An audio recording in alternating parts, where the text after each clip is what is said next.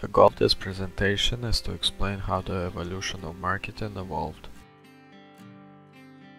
Production era evolved during the Industrial Revolution until the 1920s, where companies focused solely on the production. The mindset was that the quality of products would sell itself and didn't focus on the customer's desire. During the production era, demand exceeded supply, which created seller's market.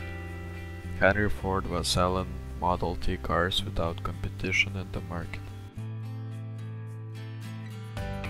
During the sales era, many companies had similar products and had to compete on buyers' attention because supply exceeded demand.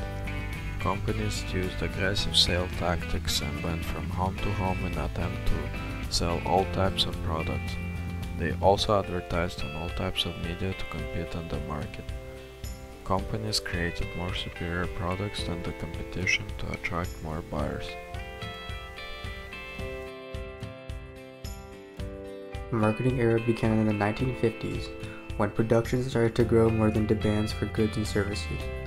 Many companies sold similar products, all in competition with one another for consumer attention. This resulted in a buyer's market being created in the start of the marketing era. For example, General Electrics they allowed customers to choose how much they want to pay, along with it being delivered. This took in consideration for what would be best for the society. Societal marketing era, on the other hand, began in the 1960s to the 1970s. This business technique allowed for profits for companies and the consumer. An example of this would be fast food companies giving their consumers healthy food alternatives for consideration for their health.